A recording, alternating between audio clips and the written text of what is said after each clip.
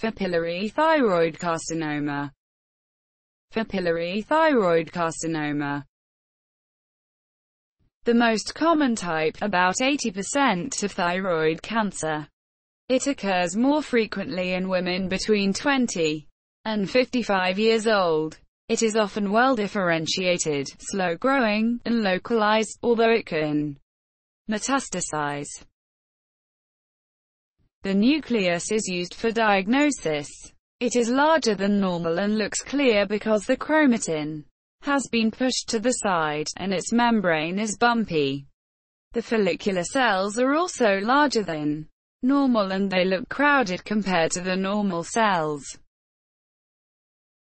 Exposure to radiation causes an increase in childhood papillary thyroid cancer at 5 to 20 years after the exposure. Cf. Follicular carcinoma